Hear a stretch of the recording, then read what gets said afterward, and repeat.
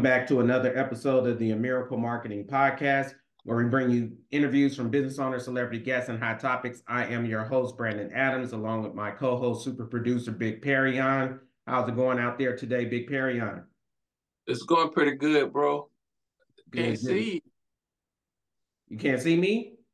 No, no, no. All I see is the logo. Hold on. Let's see what's going on. Okay, there we go. All right, I'm back. All right. So uh, make sure you guys hit the subscribe button. And if you would like to be a guest on the show, send us an email to a miracle podcast. On today's show, we have a special guest. Our guest is the host of Fox 5 Sports News in Las Vegas, Mr. Mike Davis. Mr. Mike Davis, welcome to the Miracle Marketing Podcast. How are you doing today, sir? Hey, thanks for having me. You know, I'm I'm pretty good. I just wish, you know, Big Perryon over there, he's got right next to his his right ear, he's got that picture of uh, Lionel Richie when he was wearing that that great sweater after he left the Commodores on the the album cover. So mm-hmm. if I mm-hmm. was wearing that sweater, I feel like I'd even be doing a little better. But I am representing Miles, so I got, I got Miles on my. There shirt. we go. So I got I got that, but I, yes, I don't know. You, you think I could pull off the Lionel Richie sweater? That's kind of tough. Yeah, you can pull it off. You can pull it off. It's cool right there. Enough. You see, it's right there. It's got it's like an aqua or like a turquoise. Yeah, yeah, yeah, yeah. You you cool enough for that. okay, good. So, Mike, we coming off of uh, Super Bowl weekend here in Las Vegas, and it is NBA All Star Weekend. We touch on a little bit of everything on the Miracle Marketing Podcast, but today we're going to talk sports and we're going to talk journalism.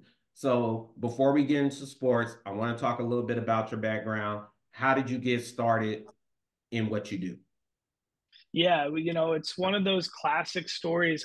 I, kind of uh, grew up playing all different sports. I grew up in the Philadelphia area and I'm born in 92. So when you're, you know, a youngster born in 92 growing up in the Philadelphia area, I mean, Allen Iverson, AI was was everything, you know. So I grew up playing all different sports. My dad was a professional tennis player, so I was really good at tennis. I was playing basketball, I was playing all different sports, but for a long time I really had that, you know, naive dream that most young kids have that, you know, I want to play in the league, I want to do this, but you know, you start uh understanding, I think a lot of times um, you know, you get older and you start looking within, you know, and I think faith and God and all that kind of stuff helps you understand like, okay, I want to be AI, but really what what are my gifts? What are the things that I can bring to the world that are authentic to me? And I was lucky enough um, in fourth grade to really decide I wanted to become a talk show host. And I actually recognized that moment as a young kid. So quickly I shifted from wanting to be Donovan McNabb or Allen Iverson or Roger Federer, and I ended up wanting to be like David Letterman.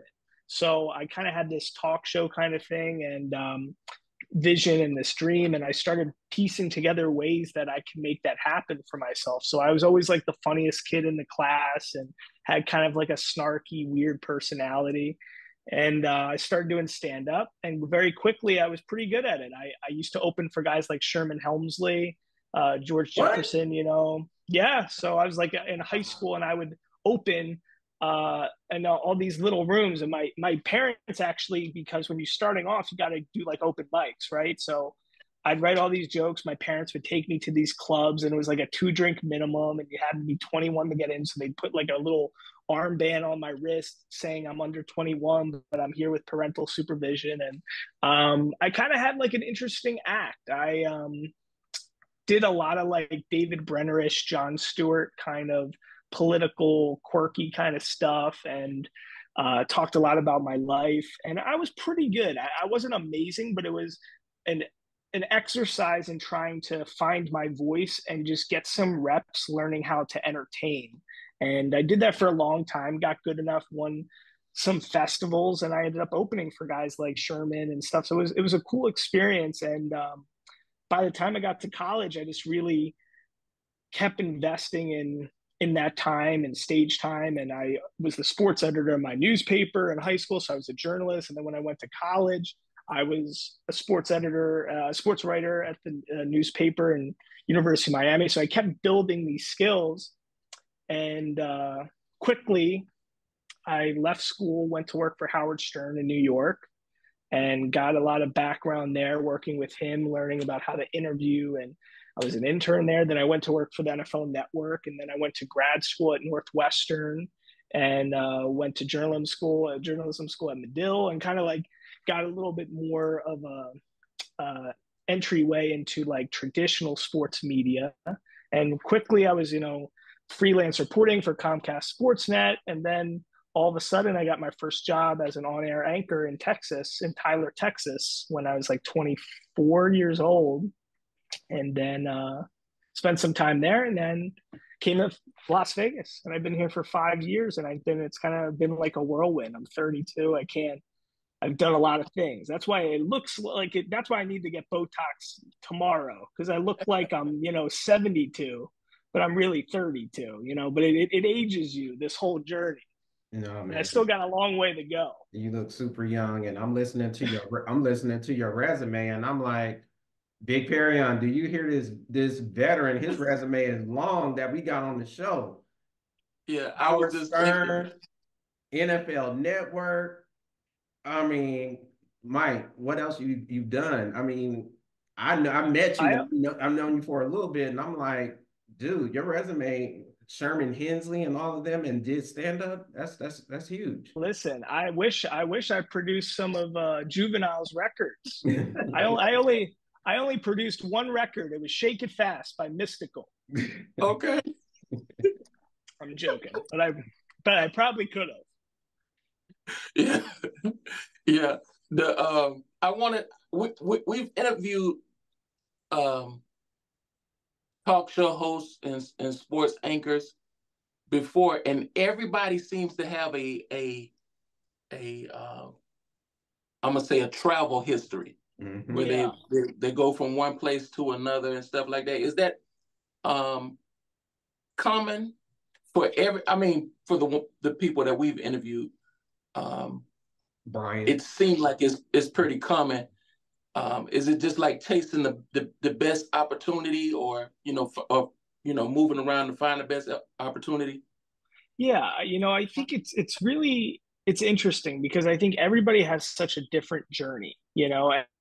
I think the older you get, you start to just appreciate. Like when I was younger, it was all about like, what am I going to accomplish? When am I going to accomplish it? Like I was so headstrong with everything. And now the older I get, the more I appreciate just the journey, you know, and the fact that I did it, you know, because the the truth is, yeah, you got to have some innate gifts and some blessings and some luck and you know inclinations uh, and you know proclivities to certain types of attributes and things are helpful but the bottom line is you got to do it you know and that's the that's the big thing. So many people are scared or they they don't have the support. I have like the greatest family. My family always supported every any endeavor i wanted to do. So i think like you start appreciating the journey and how long it takes to really get good at something and build up those, you know, like Malcolm Gladwell and Outliers calls it, you know, the 10,000 hours kind of thing. That's what they talk about with the Beatles, you know, like the Beatles,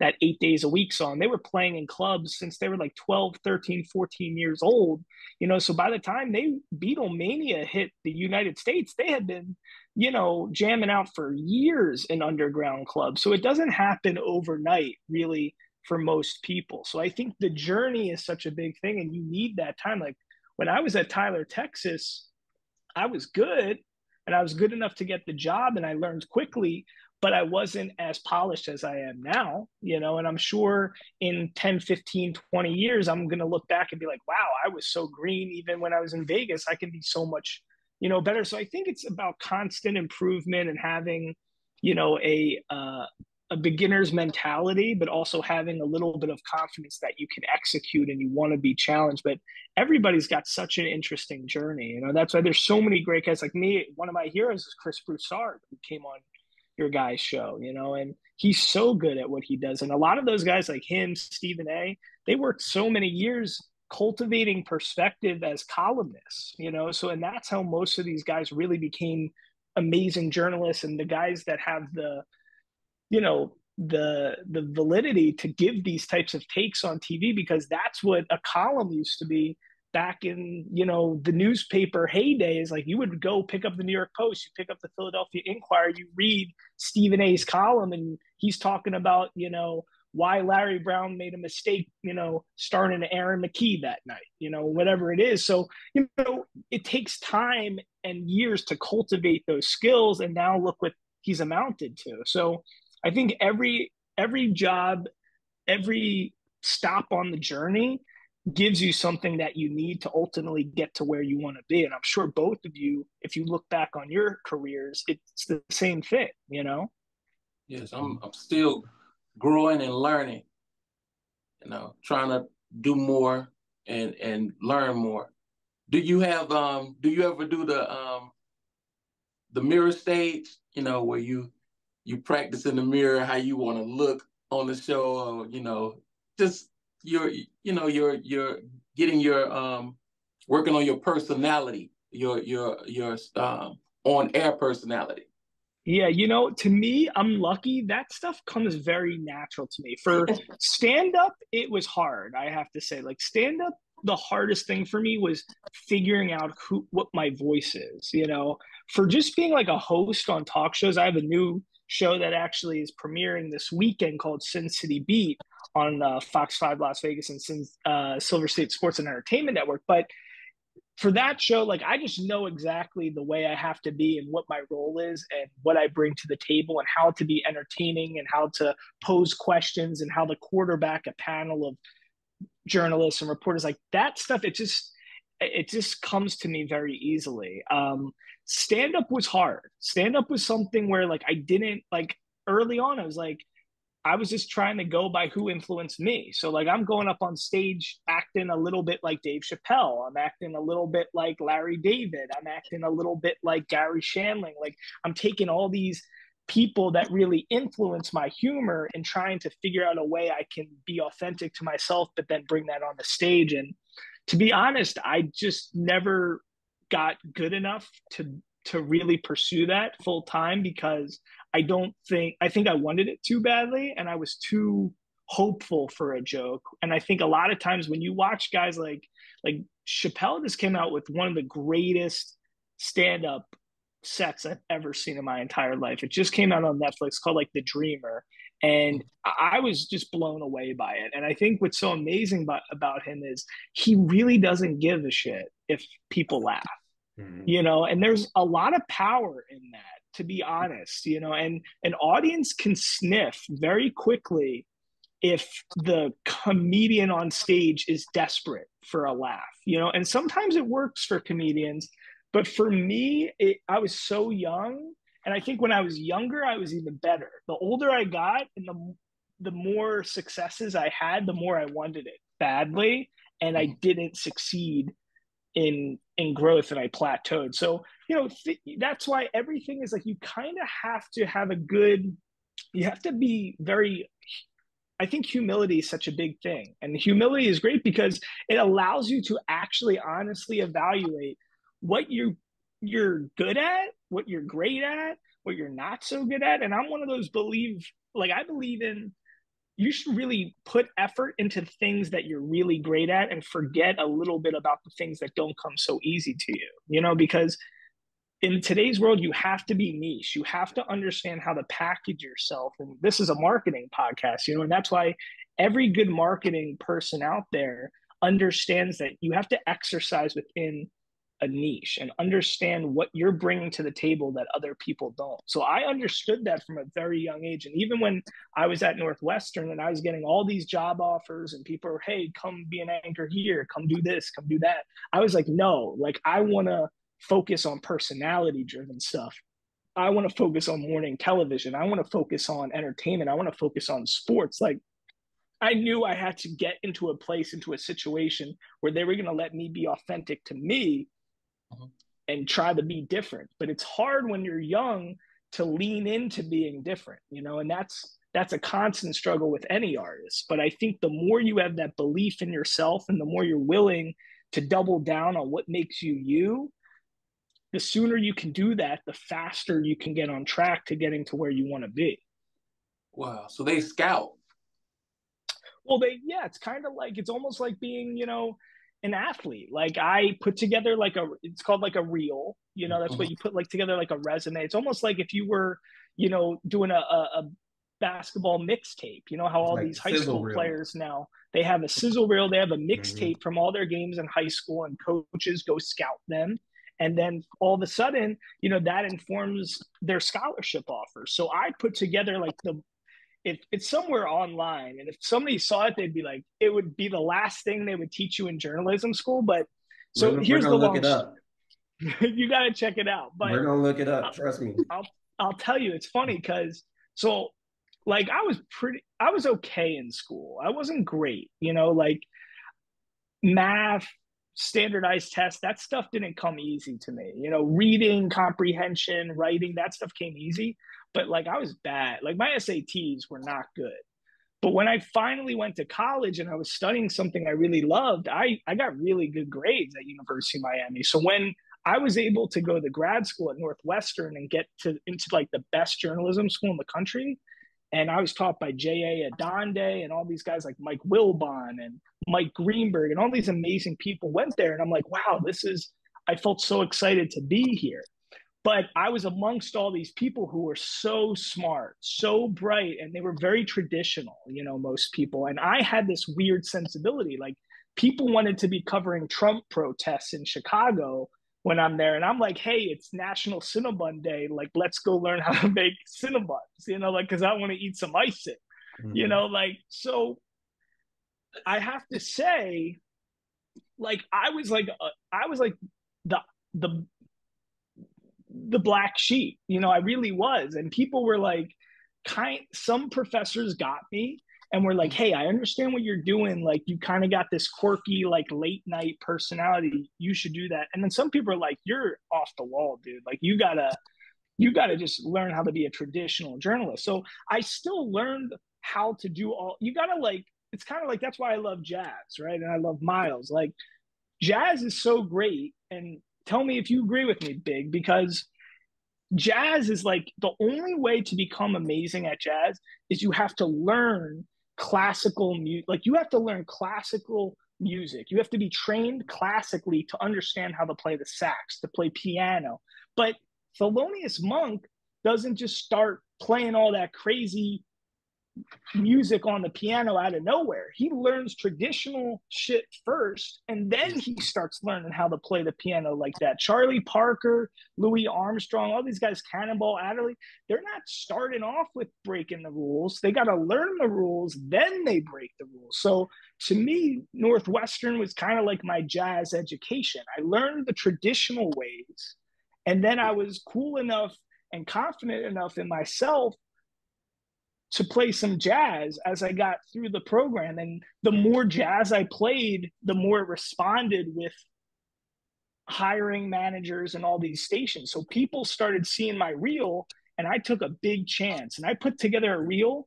And if most people's reel is classical music, mine was like 10% classical music and 90% jazz. I had the saltine cracker eating challenge on my reel. I had me doing all this crazy stuff in Chicago and all these people got back to me and they're like, yo, we want you to be like our anchor at our station. I'm like, this is crazy. So I had a bunch of offers, but just like a kid who's getting a D1 offer for football or basketball wants to go to the right situation with the right coach and the right coordinator and the right system for them, I chose this station in Texas that basically said, listen, we want to put you on our morning show. We want you to be personality driven, have as much fun on TV as possible. And then if you get us up in the rankings, in the ratings, and we move up from where we are in the market, we're going to give you your own talk show at night at 6:30 at night. So at 24 years old, I got the show up in the ratings and then all of a sudden by 20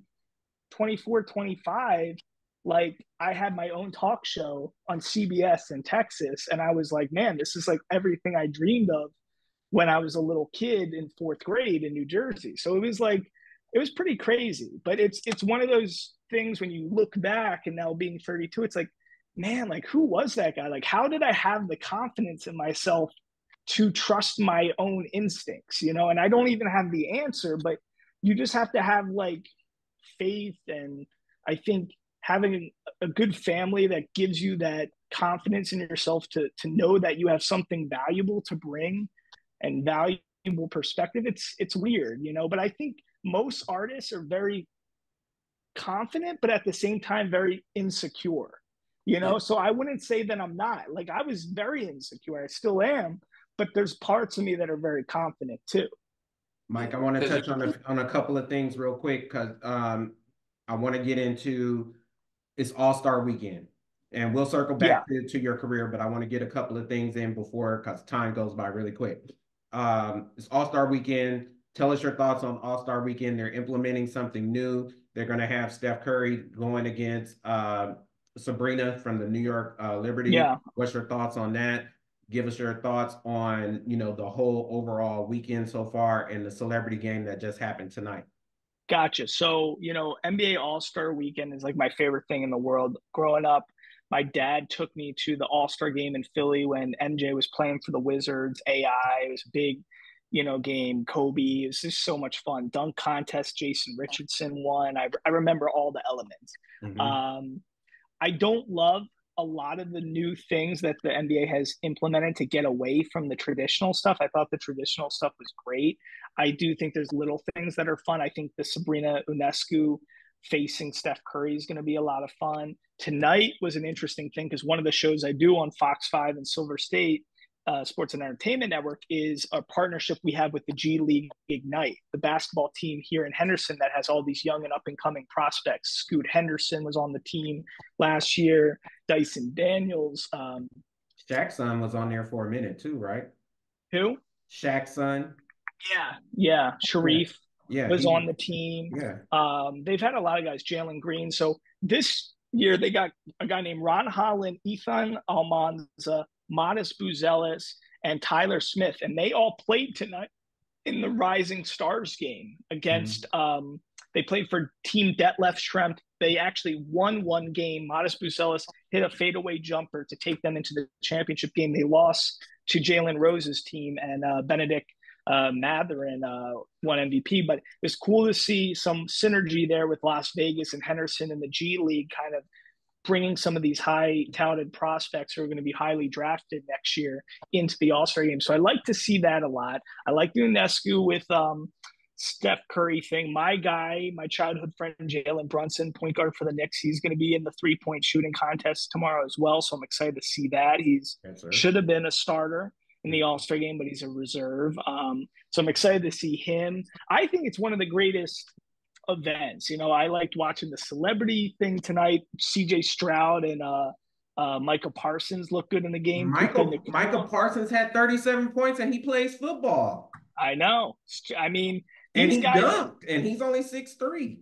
I know these guys are so talented. Puka Nacua look good. So to me, it's I, love the NBA All Star Game. I it's a shame because I do think social media has ruined a lot of things like this. You know, I remember sitting up all night, watch, turning on TNT to watch these things because there was no other way to watch the dunk contest. You weren't going to see, you know, Zach LaVine or Dwight Howard or any of these Nate Robinson moments. Like the only way to watch it, Vince Carter was like, you got to turn on the TV to see it. Now it's like you just put on Twitter in two seconds and like, okay, boom, you, you got the whole every dunk is right there on your phone. And it takes away a little bit of like, I think the community feeling of everybody watching in that moment, you know, and I think there's pretty much only like the Super Bowls like that now, you know, or a champion like the NBA finals. Like it's it's just hard to get people collectively feeling like they're watching the same thing at the same time. So I think, you know, I'm still the NBA All Star game. That's my favorite thing. I'll always love it. Um, but it just sucks that I think so many of those moments are stripped from us because it's just funneled through social media. But it's just kind of the, like, the new way things are. I mean, Big Perry, I mean, like, how about just streaming, right? I mean, look at all these album covers behind you. I mean, I love streaming because I can listen to everything right on my phone, but it's like it's changed the game so much because it's not even like about, you know, people used to put together an album and it was Mm-hmm. like we're gonna make an album like a story you know like it's a beginning middle and then we're gonna put together like this record. It's gonna be like with album notes and all these kinds of cool things. And i would i still love like took you know taking out like a john coltrane album and seeing like oh you know like philly jones like you know played on this or you know or art tatum was on piano on the you know it's like i like those things and it's like now it's like streaming. You don't even know what's going on. It's just like electronic music or something. Like Yeah. people pressing buttons. Like this is where I feel old. But what do you think about You're that? forced to you're forced to listen to a certain type of um, artist over and over again. They don't give you like the var- the variety like they used to. When you mentioned the Beatles, I looked at I got a cover over here, the Beatles '65, and it's you get the personality of the the the artist in their artwork. It it you don't really get that now. Everything is like real quick and fast. They push the music so hard in your face before they actually give you the personality of the artist. And then a lot of times when the artist starts speaking in interviews, people look at them crazy like that's what we've been listening to. That's what we've been following. You know. So it it it's it's too to me it seems like in every industry they're trying too hard.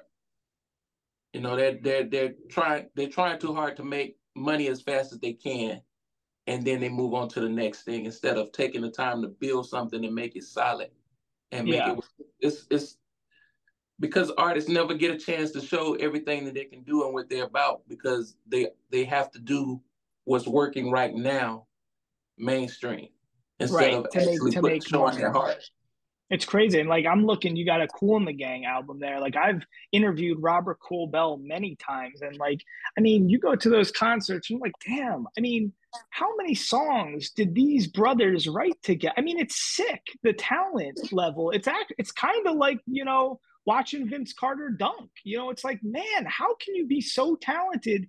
You can write Get Down on It. You can write, you know, Fresh. You can write, you know, Too Hot. You can write you know all these songs they can put together and it's like man like how talented can a group of people be? See i mean look i mean the beatles when you talk about writing hits it's ridiculous the amount of songs they i mean they put together you know just it's just nuts. So I, I mean i get i get worked up with a lot of this kind of stuff too but i don't like to take the the angle of like oh i'm an old guy and there's no good music because that that's not how it is. There are so many great artists now that have that 70s 80s like guys like gary clark jr durand jones and the indications. There's so many good groups and stuff out there. It's just like it's just it's everything is like a niche now you know? Like there's nobody knows every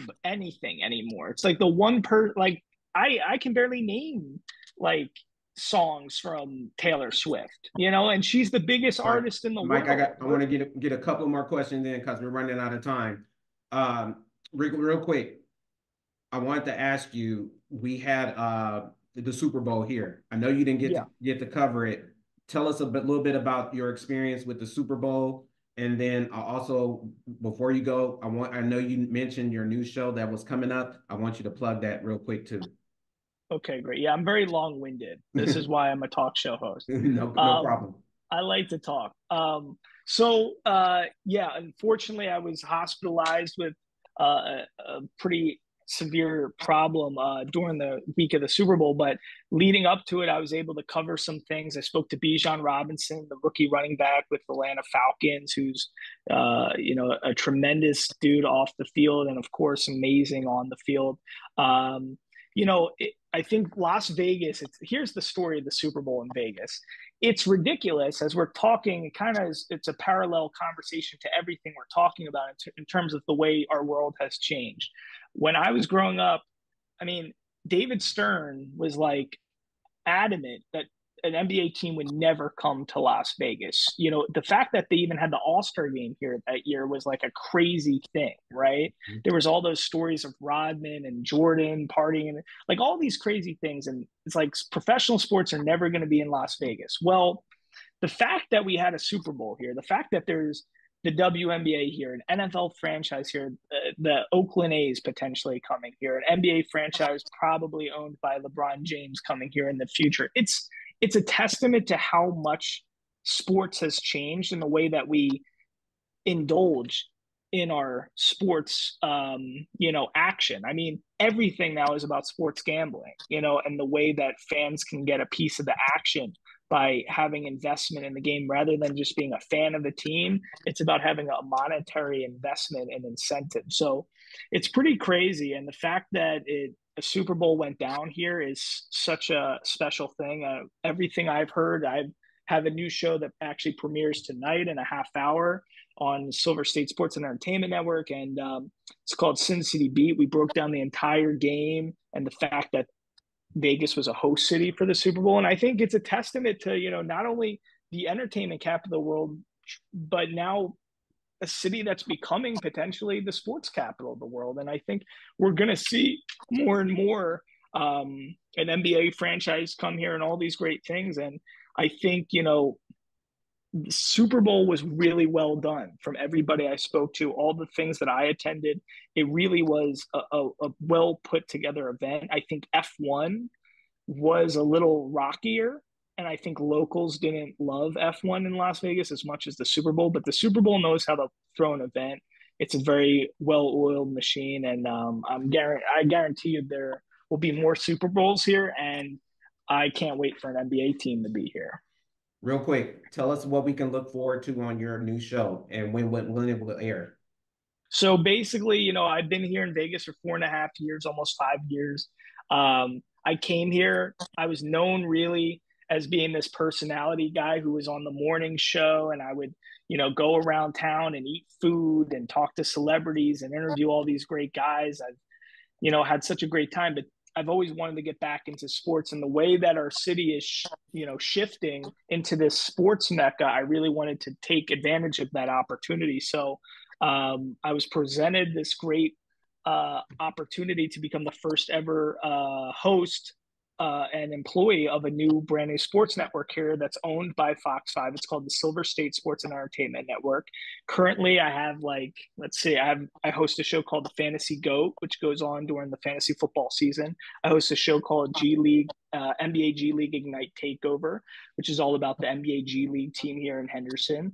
I do a, a show called SOS, Sound Off Sports, where it's kind of like a traditional kind of sports talk show where people can actually send us emails. They can phone in questions and we talk about stuff. We've had Steven Jackson on, Pro Football Hall of Famer uh, Mike Haynes. We've had UFC Ring Girl on the show, Brittany Palmer. Um, had a lot of Earl Campbell, Pro Football Hall of Fame running back. We've had on the show, so it was great, great show. And then I also do a show called The Vegas Huddle. Brandon, you know that well. CJ's been on that show. CJ Watson. I've had uh, Rollie Fingers, Spencer Haywood, so many great guys on that show. It's kind of like a podcast show.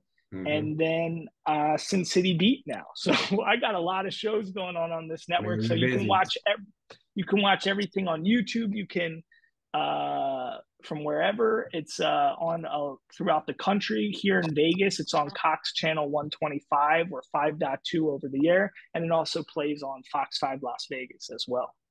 Great. Mike, we got a few minutes left. A couple other things. Where can people follow you and find you on social media? I'm uh, at Michael Mike Davis on Instagram because I couldn't get Mike Davis. I couldn't get Michael Davis, so I just put them all together. I did Michael Mike Davis, and I'm gonna tell you the two questions I always get when I'm walking around town in Vegas. One, man, it, well, it's not really a question. They're like, you look so much better with short hair because I used to have long hair. I used to kind of look like Lionel Richie without the sweater. You know, I kind of like walked around town with, you know, it was it was they. My nickname was you know hard like Sunday morning. It, it was nothing was easy about this look, um, but that's the one question I get, and the other question I get is um, is your middle name Mike from social media? People actually think my name, people think my parents, Stephen and Lynn Davis, named me Michael Mike Davis. They're like, they actually think that's my name. And I'm like, no, I, I, it's a very common name. I went to high school And there was another kid in my high school who was a troublemaker. Like I was a troublemaker, but I was too smart to get detention. You know, I got detention a few times, but I was, you know, I wasn't going to get detention. There was a kid in my high school named Michael Davis who was a year younger than me and he would get detention all the time and they would the, the whoever handled sending out detention notices to parents i would actually get these notices and my parents would be like what did you do this time? I'm like i didn't do it. It was another kid named mike davis i swear to god. Well, so that's how common this name is. But long story short instagram michael mike davis twitter x at mike davis tv and uh, facebook Michael Davis Mike. It's hard to get them all. I gotta, you know, I gotta come up with a name like Thelonious. What's what should be my new name? I just keep it as Mike. Funny man Mike. There we go. Funny man Mike. I like that one. Mike, oh, Mike, Mike. Mike, Mike. Hey, you know what? Who told me that? Somebody told me. So, I was on somebody else's yeah, podcast, and they minute, said gentlemen. they said I'm a Mike, Mike. I don't even know what that means, but somebody once told me that. All right, Mike. Well, we appreciate you being on the show. We definitely want to have you back. I saw you interview Mark Wahlberg. How was that? Oh, yo, Mark Wahlberg is the man. He's such a nice guy for the for the level of fame that he has. He is one of the gen, most genuine, sweetest guys I've ever interviewed. Same with Shaq. I love Shaq too. He's a real Shaq's a really good dude, like like high quality human being. All right. Well, thanks, gentlemen, for being on the show. Sorry to cut it short. We're running out of time. Mike, we definitely gonna have you back, talk more. This time we're gonna talk some comedy, not just sports.